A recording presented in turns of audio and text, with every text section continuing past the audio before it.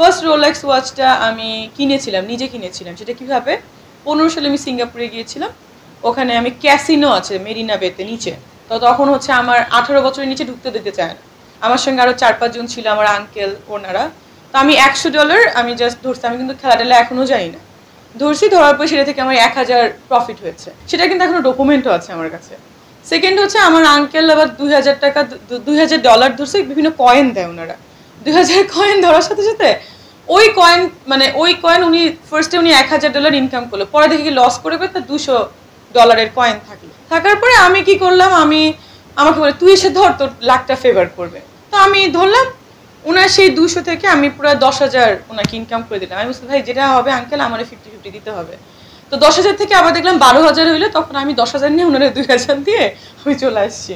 That's the thing নিয়ে আমি সাথে সাথে নিচে একটা রোলাক্সের শপ ছিল। ওইখান থেকে আমি তখন বিডি কারেন্সি মনে হয় সাড়ে সাত না আট লাখ টাকা ছিল, একটা ওয়াচ কিনেছিলাম। বাট সেই ওয়াচ কিন্তু এখন পঁচিশ লাখ, ছাব্বিশ লাখ টাকা হয়ে গেছে। কারণ আপনারা জানেন যে রোলাক্সে কিন্তু ডে বাই ডে ভ্যালু বাড়ে।